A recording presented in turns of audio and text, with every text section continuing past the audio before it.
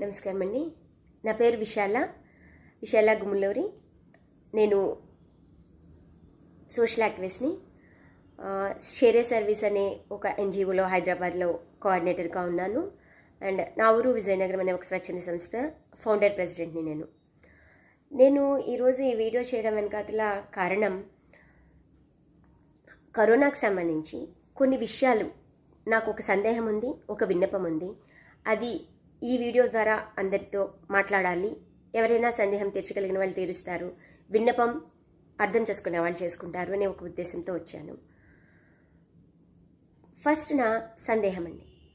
ఈ remdesivir injection మనం ఇరవై రోజులుగా ప్రతి వాళ్ళకి అంటే చదువుకున్న వాళ్ళు చదువుకుని వాళ్ళు ఎవ్వరు అవనియండి. చిన్న పసి పిల్లల దగ్గర నుంచి ప్రతి వాళ్ళకి తెలుస్తున్న పేరు ఈ ఇంజెక్షన్ పేరు. ఆ ఇంజెక్షన్ వెతుకులాట వెతుకులాట వెతుకులాట. నాకు అంటే ఒక వారం రోజుల పాటు. ఇప్పుడు కాదు వారం రోజుల క్రితం వారం రోజుల పాటు నేను ఈ ఇంజెక్షన్ కోసం పిచ్చి దానిలా తిరిగాను. అంటే నా కోసం కాదు నాకెవరో ఫ్రెండ్స్ కానీ ఎవరో తెలిసిన వాళ్ళు కానీ అంటే నేను డాక్టర్ని కాదండి. ఖచ్చితంగా నేను డాక్టర్ని కాదు. నాకేం హాస్పిటల్ లేదు. మనకి అంటే నాకు తెలిసిన ఎవరు కోవిడ్ ట్రీట్మెంట్ ఇచ్చే హాస్పిటల్ ఉన్నవాళ్ళు కూడా కాదు. కానీ ఒక మనిషిగా ఒక సామాజికవేత్తగా నాకు ఎవరైనా తెలిసిన వాళ్ళు ఉండొచ్చు. వాళ్ళ ద్వారా నేను ఏమైనా అరేంజ్ చేయగలగవచ్చు అనే ఒక చిన్న ఆశతో నాకు చాలామంది ఫోన్లు చేస్తూ ఉంటారు. చాలామంది నాకు తెలిసిన వాళ్ళని అడిగి దయచేసి సహాయం చేయండి మేడం అంటూ అడుగుతూ ఉంటారు. అయితే సరే మనం చేయటం మానవత్వం. ఇలాంటి టైంలో కాకపోతే ఇంకెప్పుడు మనం మనుషులుగా మనం మనం నిరూపించుకోగలుగుతాము? అందుకని చాలా ప్రయత్నాలు. తెలిసిన ప్రతి వాళ్ళని అడిగి నాకు తెలిసిన ప్రతి చోట ఇంకా నాకు తెలిసిన వాళ్ళు కాకపోతే వాళ్ళకి తెలిసిన వాళ్ళు వాళ్ళకి తెలిసిన వాళ్ళు అలా అంటే ఒక చైన్ చైన్ లాగా నేను అందరినీ మాట్లాడి చేసి ఇంకా హెట్రో దగ్గరికి వెళ్ళి క్యూలో నిలబడి ఎవరికో కావాలంటే చాలా ఎమర్జెన్సీ అంటే హెట్రో దగ్గర క్యూలో నిలబడి ఇంజెక్షన్ తీసుకోవడానికి అని చెప్పి ప్రయత్నాలు చేసి ఇలా చాలా చాలా కష్టపడ్డామండి. కష్టపడ్డాక ఒక వారం రోజుల తర్వాత నేను రియలైజ్ అయింది ఏంటి అంటే మేము పిచ్చోళ్ళం అవుతున్నాం ఇక్కడ. ఎస్ నథింగ్ బట్ పిచ్చోళ్ళు. ఎవరి పిచ్చోళ్ళని చేస్తున్న వాళ్ళు తెలుసా? కొంతమంది హాస్పిటల్ వాళ్ళు. వాళ్ళు హాస్పిటల్లో అడ్మిషన్ ఇస్తారు. ఇచ్చి ఇవ్వగానే ఫస్ట్ చెప్పేది మీరు రెమ్డెసివిర్ ఇంజెక్షన్ తీసుకురండి. అంటే బెడ్ అయినా ఇవ్వకపోవట్లేదు ఇవ్వకపోవచ్చు కానీ ఈ ఇంజెక్షన్ తెచ్చుకురండి అనేది మాత్రం ఫస్ట్ చెప్తున్నారు. ఫైన్ అవసరం ఉంటే చెప్పవచ్చు తప్పులేదు అసలు ఎలా చెప్తున్నారండి వాళ్ళ ఇంజెక్షన్ ఇవ్వాలని? ఇవ్వాలి తీసుకురండి అని ఎలా చెప్తున్నారు వాళ్ళు? ఎందుకంటే ప్రభుత్వం స్ట్రిక్ట్గా రూల్ చేసింది. ఏమని? ఆ ఇంజెక్షన్ బయట అమ్మడానికి వీల్లేదు. మెడికల్ షాపుల్లో అది రాదు. Distributor to directly hospitals government hospitals అని చెప్పింది. గవర్నమెంట్ త్రూ ప్రైవేట్ హాస్పిటల్స్ అని చెప్పింది. అలాంటప్పుడు ఈ మీ హాస్పిటల్లో అడ్మిట్ అయిన ప్రతి వాళ్ళని మీరు ఇంజెక్షన్ తీసుకురమ్మని ఎక్కడికి పంపిస్తున్నారు? మీకు బయట దొరకదని తెలిసిన దాన్ని మీ హాస్పిటల్ త్రూ మీరు డాక్యుమెంట్స్ పెట్టి గవర్నమెంట్ నుంచి తెచ్చుకోవాలి అని తెలిసిన ఇంజెక్షన్ని బయట నుంచి తెచ్చుకురమ్మని చెప్పి పేషెంట్లు ఎందుకు పంపిస్తున్నారు మీరు? దీంట్లో నాకు వారం రోజుల దగ్గర నుంచి ఫోన్లు వచ్చిన వాళ్ళకి నేను ఒకటే చెప్పాను. మీరు ఇంజెక్షన్ కోసం బయట వెతక్కండి బయట ఎక్కడ ప్రయత్నాలు చేయకండి. హాస్పిటల్ వాళ్ళకి చెప్పండి. మాకు దొరకట్లేదు. బయట చాలా రేట్లు చెప్తున్నారు. అంత చెప్తున్నారు ఇంత చెప్తున్నారని మీరు చెప్పండి వాళ్ళకి. ఎండ్ ఆఫ్ ద డే ఖచ్చితంగా వాళ్ళలో నుంచి ఎవరో ఒకరు వస్తారు మీ దగ్గరికి ఒక ఆఫర్తో. మీరు అబ్జర్వ్ చేయండి అని. హ్యాపెండ్ ఎగ్జాక్ట్లీ హ్యాపెండ్ ఇద్దరు ముగ్గురు చెప్పారు అవును మేడం మాకు హాస్పిటల్ వాళ్ళే వచ్చారు ఇంజెక్షన్ ఇచ్చారు. ఏదో రేట్ చెప్పారు మేము ఇచ్చేసాం ఇచ్చి what nonsense is this? మీరు బిజినెస్ చేసుకుంటున్నారు ఐఎమ్ లీస్ట్ బాదర్డ్ అది. బయట బ్లాక్లో కొనుక్కోవడము ఇది I'm not talking about all those things. At least మనుషుల్ని ప్యానిక్ చేయకండి. పిచ్చోళ్ళ రోడ్ల మీద వాళ్ళ వాళ్ళకి ఒళ్ళల్లో బాగాలేక వాళ్ళు చాలా క్రిటికల్ కేర్ కండిషన్లో ఉన్న టైంలో మీరు వాళ్ళని రోడ్ల మీద పిచ్చలా తిప్పి దొరకని వస్తువుని దొరక తీసుకురండి తీసుకురండి అని ఇబ్బంది పెట్టి అది మీ దగ్గరే ఉంచి ఆ తర్వాత మీరే వాళ్ళకి ఏదో ఆఫర్తో ఇచ్చి దయచేసి చేయకండి ఇలాంటివన్నీ. నేను అందరి హాస్పిటల్ వాళ్ళని అనట్లేదండి దయచేసి అందరూ కూడా మేం కాదు మేం కాదు మమ్మల్ని మమ్మల్ని అనుకోకండి. ఎస్ కొంతమంది రియల్లీ దేముళ్ళండి. రియల్లీ ఆ వాళ్ళు దేముళ్ళు. నేను నాకంటే కొంత కొంతమంది బెడ్స్ కావాలని అట్లా ఫోన్లు చేసినప్పుడు బెడ్స్ అవి ఇప్పించేస్తున్నాం. అంటే తెలిసిన వాళ్ళు ఉంటే ఏదో చేస్తున్నాము ఇస్తున్నారు. By God's grace sometimes it is happening sometimes చాలా హెల్ప్లెస్ హ్యాండ్స్ అప్ అయిపోయి బాధతో తరలించుకోవడం తప్ప ఏమీ చేయలేకపోతున్నాము.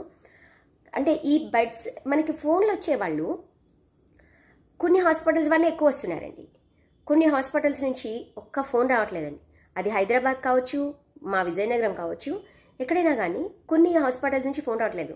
విజయనగరంలో ఫర్ సపోజ్ ఎగ్జాంపుల్ తీసుకుంటే Andhra hospital NRI hospital Gayatri hospital వీళ్ళు ఎవ్వరు ఫోన్ చేయరండి. ఈ హాస్పిటల్లో చేరిన ఒక పేషెంట్ రెమ్డిసివిర్ ఇంజెక్షన్ కావాలి అని ఫోన్ చేయట్లేదు. నేను ఈ హాస్పిటల్స్లో వాళ్ళతో కూడా మాట్లాడడం జరిగింది. ఈ ఇంజెక్షన్ గురించి ఏమిటి అని.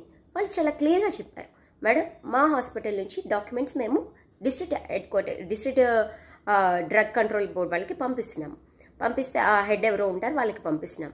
పంపి అంటే మా రిక్వైర్మెంట్ ఎన్ని ఇంజెక్షన్ రిక్వైర్మెంట్స్ ఉన్నాయి ఎన్ని బెడ్స్ వాళ్ళకి కావాల్సి ఉంటుంది ఎంతమంది పేషెంట్స్ ఉన్నారు ఈ డీటెయిల్స్ అన్ని మేము డేటా ఇస్తున్నాం. వాళ్ళు మాకు అవైలబిలిటీ ఆఫ్ ఇంజెక్షన్స్ చూసుకొని మాకు ఇస్తున్నారు. అంటే of course it is happening ఇప్పుడు మేము ఎయిట్ మెంబర్స్కి అవసరమో అన్నప్పుడు ఒక్కొక్కసారి వాళ్ళ దగ్గర సిక్సే ఉంటే ఆ సిక్స్ సెవెనో ఇస్తున్నారు. మేము అది ఏదో అడ్జస్ట్ చేస్తున్నాము చేస్తున్నాము. కానీ మేము మా పేషెంట్లు మీరు వెళ్ళి తీసుకురండి అని చెప్పట్లేదు మేడం.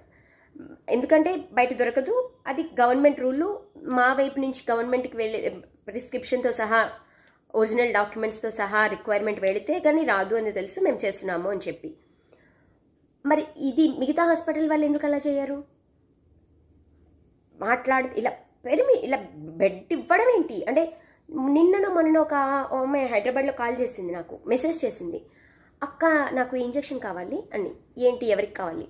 మన వాళ్ళు ఎవరికో జాయిన్ చేస్తున్నామని చెప్పింది. ఏ హాస్పిటల్? పలానా హాస్పిటల్. ఓకే ఇప్పుడు ఎక్కడ? ఇంకా ఈయన్ని హాస్పిటల్కి తీసుకెళ్తున్నారండి. అని ఇంకా హాస్పిటల్కి తీసుకెళ్తున్నారు. తీసుకెళ్తూ ఉండగానే వీళ్ళకి ఏమన్నా ఇంజెక్షన్ కావాలని చెప్పి వాళ్ళు చెప్పేశారు.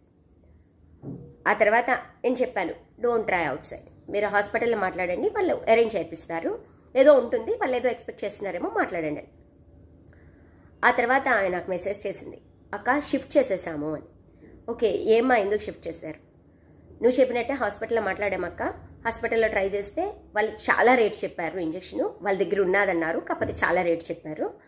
బయట ఇప్పుడు మేము వచ్చిన హాస్పిటల్లో చాలా రీజనబుల్ ప్రైస్కి వీళ్ళు ఇంజెక్షన్ మాకు అరేంజ్ చేశారక్క వీళ్ళే ఇస్తున్నారు. అందుకని మేము షిఫ్ట్ చేసేసామని చెప్పారు. సో ఇమాజిన్ మీరు హాస్పిటల్ వాళ్ళు దయచేసి ఆ ప్రొసీజర్ని ఫాలో అవ్వండి. ప్రొసీజర్ పేషెంట్స్కి ప్రస్తుతం బయట ప్రొసీజర్ తెలియదు కాబట్టి మీరు ప్యానిక్ చేయకండి. చెప్పడానికి నాలాంటి వాళ్ళు ఎవరో ఒకరు ఉంటారు వాళ్ళకి. ఆ ప్రొసీజర్ నేలాంటి వాళ్ళు ఎవరో ఒకరు ఎక్స్ప్లెయిన్ చేస్తారు. కాకపోతే ఆ టైంలో వాళ్ళు రెస్పాండ్ అవ్వడానికి కానీ రియాక్ట్ అవ్వడానికి కానీ వాళ్ళకి ఆ మూమెంట్లో అవ్వకపోవచ్చు. కానీ వాళ్ళు రెస్పాండ్ వాళ్ళ తరఫున రెస్పాండ్ అవ్వడానికి మాలాంటి వాళ్ళు ఎవరో ఒకరు ఉంటాం. అది గుర్తుపెట్టుకోండి. ఇది కరెక్ట్ కాదు. మీరు గవర్నమెంట్ మీకే అథారిటీ ఇచ్చినప్పుడు మీరు మీరు దాన్ని సద్వినియోగం చేయండి.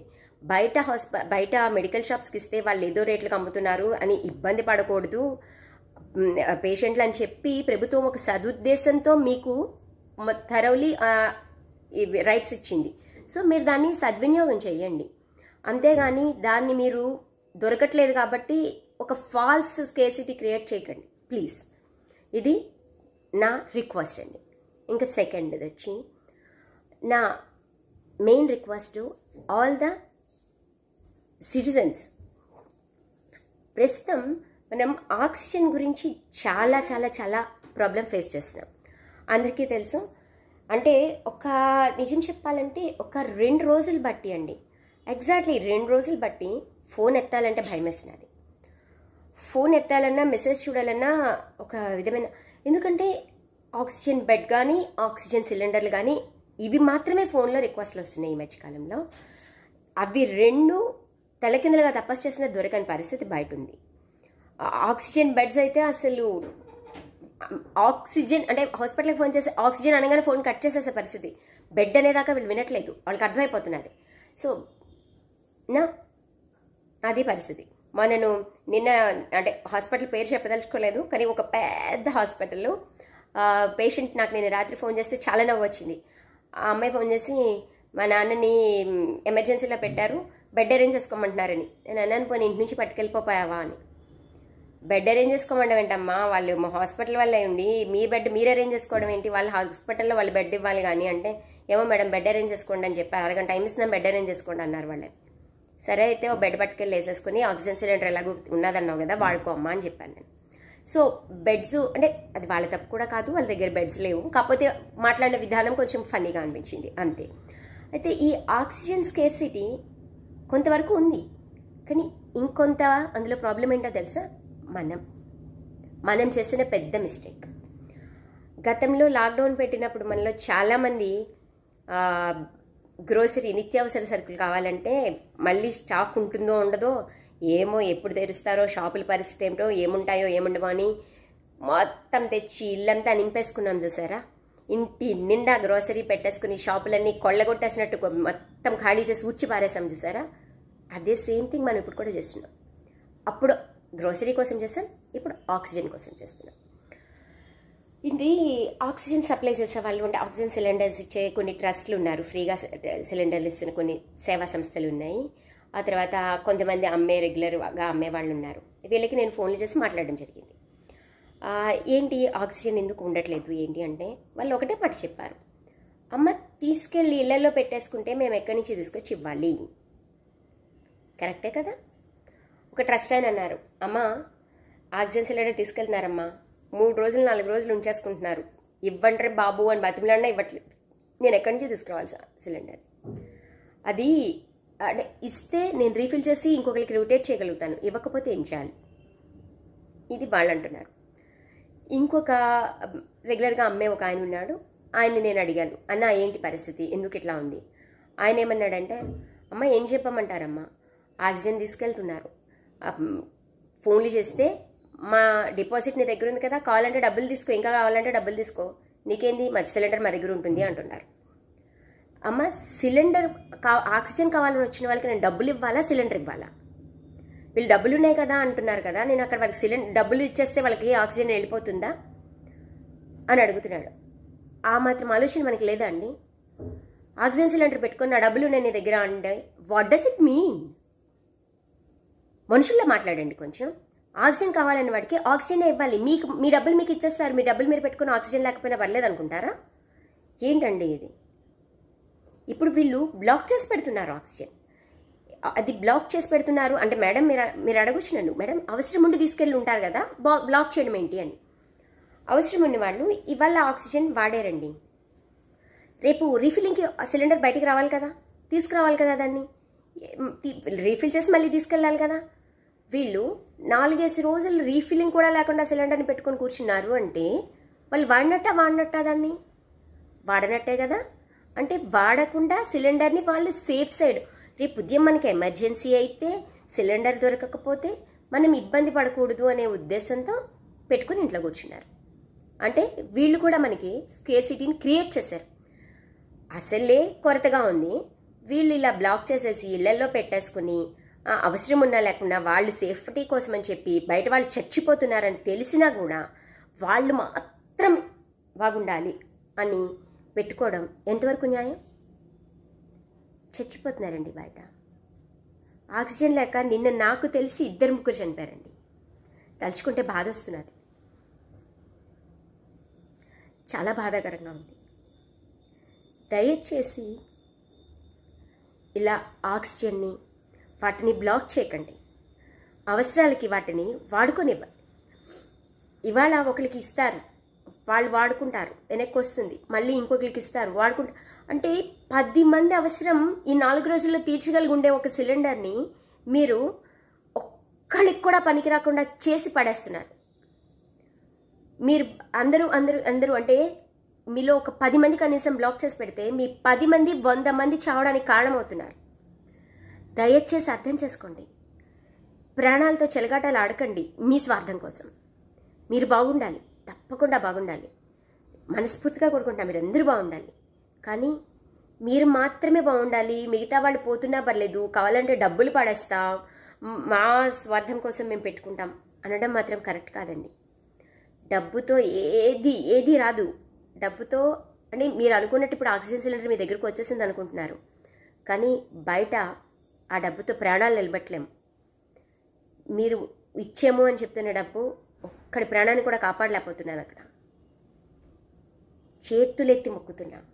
ఇలా ఆక్సిజన్లని మందులని వాటిని మీరు బ్లాక్ చేసి పెట్టకండి. చచ్చిపోతున్నారు. నా దగ్గర ఆక్సిజన్ ఉంది అని మీరు స్వచ్ఛందంగా తీసుకెళ్ళి ఎవరికి అవసరమో వాళ్ళకి ఇవ్వండి. మీ అవసరానికి పది మంది వచ్చి మీకు ఇస్తారు. ఖచ్చితంగా అండి ఇది జరుగుతుంది. మీరు మీ దగ్గర ఉన్న ఆక్సిజన్ మీకు స్వార్థం కోసం బ్లాక్ చేసుకోకుండా పట్టుకెళ్ళిస్తే ఖచ్చితంగా పది మంది మీ అవసరం టైంలో మీకు వచ్చి ఇస్తారండి. నేను చూశాను. నేను చూశాను. దేవుడు మనిషి రూపంలో రావడం నేను ఈ పది రోజుల్లో చాలాసార్లు చూశాను. ఆ అనుభవంతో చెప్తున్నానండి. దయచేసి మనం బ్లాక్ చేసేసి మనం మన కోసం మాత్రమే ఆలోచించుకొని బతకొద్దు ఇప్పుడు. ఇప్పుడు పక్క వాళ్ళ కోసం బతుకుతాం. కొద్ది రోజులు పక్క వాళ్ళ కోసం బతుకుతామండి. ఆ తర్వాత చూడండి. ప్రపంచం అంతా మన కోసం బతుకుతుంది. ప్రపంచం అంతా మన కోసం నిలబడుతుంది. నమస్తే.